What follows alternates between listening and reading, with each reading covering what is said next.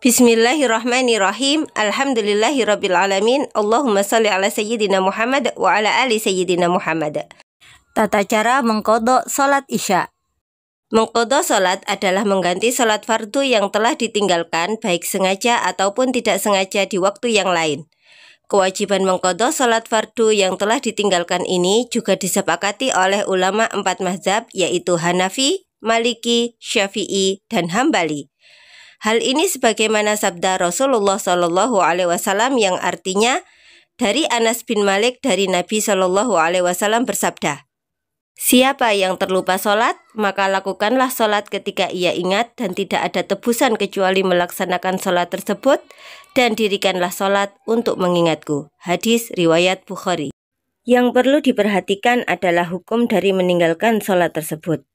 Apabila kita tidak sengaja meninggalkan sholat fardu, misal karena ketiduran, lupa, atau bagi wanita saat mau sholat ternyata keluar darah head, sehingga membuatnya mempunyai hutang sholat, maka itu tidak berdosa, karena semua itu di luar kemampuan kita. Namun, bila kita meninggalkan sholat karena disengaja, misal terlalu sibuk dengan sesuatu, sehingga melalaikan waktu sholat, maka kita akan berdosa. Meskipun demikian, baik sengaja atau tidak, sholat yang ditinggalkan tetap wajib dikodo. Kapan waktu pelaksanaan kodo sholat? Sholat fardu dulu ataukah kodo dulu? Dalam hal ini, ulama berbeda pendapat. Menurut ulama dari mazhab syafi'i, pelaksanaan kodo bisa melihat situasi. Jika dikhawatirkan sholat fardu akan habis waktunya, maka pelaksanaan kodo boleh setelah melaksanakan sholat fardu. Perkara ini dijelaskan oleh Imam Zakaria Al-Ansari dalam kitab Tuhfatu Atulab yang berbunyi sebagai berikut yang artinya seseorang wajib mengkodok sholat fardu yang telah terlewat waktunya ketika ia telah ingat dan memungkinkan untuk melaksanakannya kecuali jika dikhawatirkan terlewatinya menjalankan sholat adha pada waktunya maka ia harus mendahulukan sholat adha terlebih dahulu. Ulama mazhab syafi'i ini juga berpendapat bila meninggalkan sholat tersebut dengan sengaja maka kodoknya tidak boleh ditunda atau harus dilakukan secepatnya. Tapi bila sholat tersebut tanpa sengaja ditinggalkan maka cara kodoknya sebaiknya dilakukan sesegera mungkin.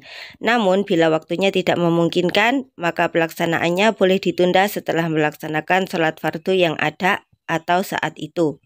Hal ini sebagaimana pendapat dari Imam An-Nawawi, salah satu muhakik terbesar dalam mazhab Asy-Syafi'iyah, yang menuliskan di dalam kitabnya yang artinya orang yang wajib atasnya sholat namun melewatkannya, maka wajib atasnya untuk mengkodoknya, baik terlewat karena uzur atau tanpa uzur.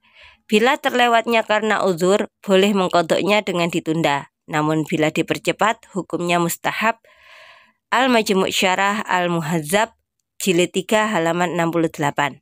Sebagai contoh, ada orang yang tertidur lalu tidak sengaja meninggalkan waktu sholat asar. Ia kemudian bangun di waktu maghrib dan teringat belum menunaikan sholat asar. Dalam kasus ini, orang tersebut boleh menunaikan sholat asar terlebih dahulu sebelum sholat maghrib. Namun, jika waktu sholat maghrib sangat sempit atau hampir akhir waktu, maka sholat maghribnya wajib didahulukan sebelum mengkodok sholat asar. Sementara menurut mazhab Hanafi, Maliki, dan Hambali, pelaksanaan kodok harus dilakukan sesegera mungkin. Intinya tunaikan kodok sholat dulu baru sholat fardu. Al-Marginani, salah satu ulama mazhab Al-Hanafiyah menuliskan sebagai berikut yang artinya, Orang yang terlewat dari mengerjakan sholat, maka dia wajib mengkodoknya begitu dia ingat dan harus didahulukan pengerjaannya dari sholat fardu pada waktunya. Bagaimana hukum sholat yang telah ditinggalkan bertahun-tahun, perlu digodok atau tidak? Pendapat para ulama mengatakan bahwa sholat yang telah lama ditinggalkan dan mungkin sampai bertahun-tahun, baik itu karena sengaja atau tidak, tetap wajib dikodok. Cara mengkodoknya boleh sekaligus ataupun boleh dicicil setiap habis sholat, dan waktu pelaksanaannya pun bebas. Bagaimana cara melaksanakan sholat kodok? Cara mengerjakan sholat kodok itu sama seperti sholat wajib yang ditinggalkan. Yang membedakan adalah niatnya dan waktunya. Karena waktunya bisa dikerjakan kapan saja, boleh pagi, siang, atau malam. Bahkan menurut jumhur atau mayoritas ulama boleh dilakukan pada waktu yang terlarang untuk melakukan sholat. Sedang di kalangan mazhab Hanafi hal itu tidak diperbolehkan. Jika sholat yang tertinggal hanya hitungan hari, maka para ulama menganjurkan melaksanakan secara tertib. Mana yang waktunya lebih awal, maka dikodok terlebih dahulu. Dan mana yang waktunya belakang, dikodok belakangan. Sedangkan jika yang tertinggal sampai bertahun-tahun, para ulama umumnya tidak mengharuskan kodok sholat dilakukan dengan tertib sesuai urutannya. Karena jumlah sholat yang dikodok terlalu banyak, sehingga yang mana saja yang dikerjakan terlebih dahulu tidak menjadi masalah. Dan berikut adalah praktiknya. Cara kodok salat isya. Jumlah rakaat kodok salat isya sama dengan salat isya yaitu 4 rakaat. Surat yang wajib dibaca dari rakaat 1 sampai 4 adalah surat Al-Fatihah. Sedang surat selain surat Al-Fatihah hanya dibaca pada rakaat 1 dan 2 saja dan hukumnya sunnah. Bacaan surat pun bebas, boleh surat apa saja yang ada di dalam Al-Quran. Usolli fardal isya'i arba'a raka'atim mustaqbilal qiblati qada'an lillahi ta'ala. Allahu Akbar. Allahu Akbar. Kabira walhamdulillahi katsira. Wa subhanallahi bukratan wa asila. Inni wajjahtu wajhiya lillazi fatara samawati wal ard hanifam musliman wa ma ana minal musyrikin. Inna salati wa nusuki wa mahyaya wa mamati lillahi rabbil alamin. La syarika lahu wa bizalika umirtu wa ana minal muslimin. Bismillahirrahmanirrahim. Alhamdulillahi rabbil alamin. Ar-Rahmanir-Rahim Maliki yaumiddin Iyyaka na'budu wa iyyaka nasta'in اهدنا الصراط المستقيم صراط الذين أنعمت عليهم غير المغضوب عليهم ولا الضالين. آمين. بسم الله الرحمن الرحيم. قل أعوذ برب الفلق min syarri ma khalaq wa min syarri ghasiqin idza waqab wa min syarri naffasati fil 'uqad wa min syarri hasidin idza hasad Allahu akbar Subhana rabbiyal azimi wa bihamdih Subhana rabbiyal azimi wa bihamdih Subhana rabbiyal azimi wa bihamdih Sami'allahu liman hamidah. Rabbana lakal hamdu mil'us samawati wa mil'ul ardi wa mil'u ma syi'ta min syai'im ba'du. Allahu akbar. Subhana rabbiyal a'la wa bihamdih. Subhana rabbiyal a'la wa bihamdih. Subhana rabbiyal a'la wa bihamdih. Allahu akbar Rabbi gfirli warhamni wajburni warfa'ni warzuqni wahdini wa'afini wa'fu Allahu akbar. Subhana rabbiyal a'la wa bihamdih. Subhana rabbiyal a'la wa bihamdih. Subhana rabbiyal a'la wa bihamdih. Allahu akbar Bismillahirrahmanirrahim. Alhamdulillahi rabbil alamin. Ar-Rahmanir-Rahim. Maliki yaumiddin. Iyyaka na'budu wa iyyaka nasta'in.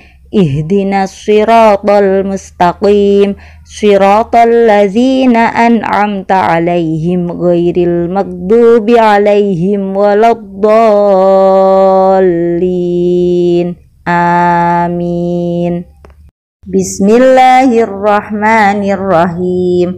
قل هو الله أحد الله الصمد لم يلد ولم يولد. Walam yakul lahu kufuwan ahad. Allahu akbar. Subhana rabbiyal azimi wa bihamdih. Subhana rabbiyal azimi wa bihamdih. Subhana rabbiyal azimi wa bihamdih. Sami'allahu liman hamidah Rabbana lakal hamdu mil'us samawati wa mil'ul ardi wa mil'u ma syi'ta min syai'im ba'du. Allahu akbar. Subhana rabbiyal a'la wa bihamdih. Subhana rabbiyal a'la wa bihamdih. Subhana rabbiyal a'la wa bihamdih.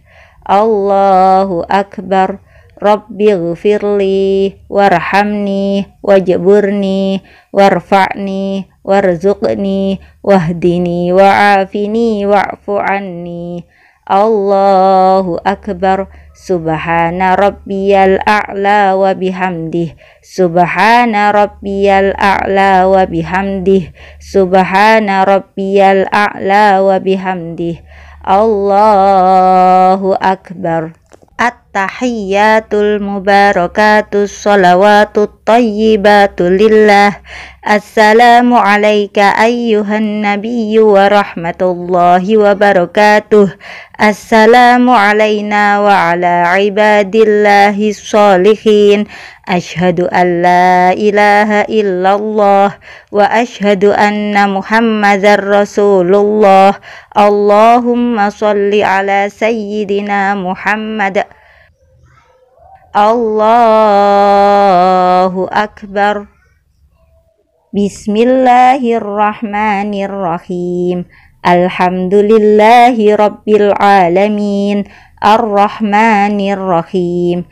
Maliki yaumiddin. Iyyaka na'budu wa iyyaka nasta'in Ihdinas siratal mustaqim Siratal ladzina an'amta alaihim ghairil maghdubi alaihim waladdallin Amin Allahu Akbar Subhana rabbiyal azimi wa bihamdih Subhana rabbiyal azimi wa bihamdih Subhana rabbiyal azimi wa bihamdih Sami'allahu liman hamidah. Rabbana lakal hamdu mil'us samawati wa mil'ul ardi wa mil'u ma syi'ta min syai'im ba'du. Allahu akbar. Subhana rabbiyal a'la wa bihamdih. Subhana rabbiyal a'la wa bihamdih. Subhana rabbiyal a'la wa bihamdih. Allahu akbar Rabbi gfirli warhamni wajburni warfa'ni warzuqni wahdini wa'afini wa'fu anni. Allahu akbar. Subhana rabbiyal a'la wa bihamdih. Subhana rabbiyal a'la wa bihamdih. Subhana rabbiyal a'la wa bihamdih. Allahu akbar Bismillahirrahmanirrahim. Alhamdulillahi rabbil alamin. Ar-Rahmanirrahim. Maliki yaumiddin. Iyyaka na'budu wa iyyaka nasta'in Ihdinas siratal mustaqim Siratal ladzina an'amta alaihim ghairil maghdubi alaihim waladdallin Amin Allahu Akbar Subhana rabbiyal azimi wa bihamdih Subhana rabbiyal azimi wa bihamdih Subhana rabbiyal azimi wa bihamdih Sami'allahu liman hamidah. Rabbana lakal hamdu mil'us samawati wa mil'ul ardi wa mil'u ma syi'ta min syai'im ba'du. Allahu akbar. Subhana rabbiyal a'la wa bihamdih. Subhana rabbiyal a'la wa bihamdih. Subhana rabbiyal a'la wa bihamdih.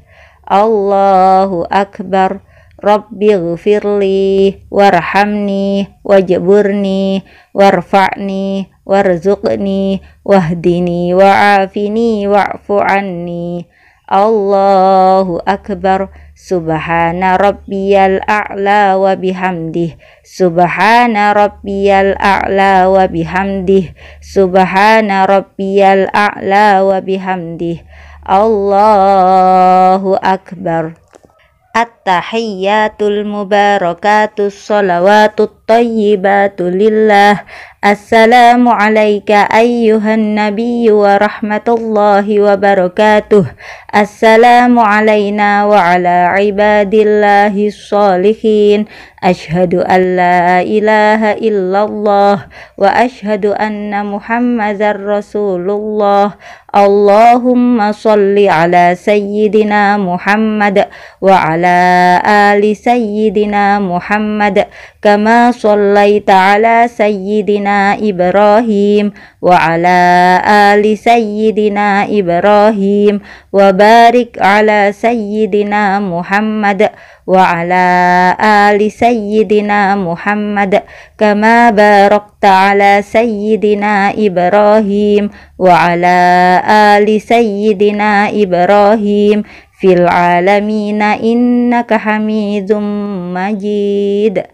Assalamualaikum warahmatullahi Assalamualaikum warahmatullahi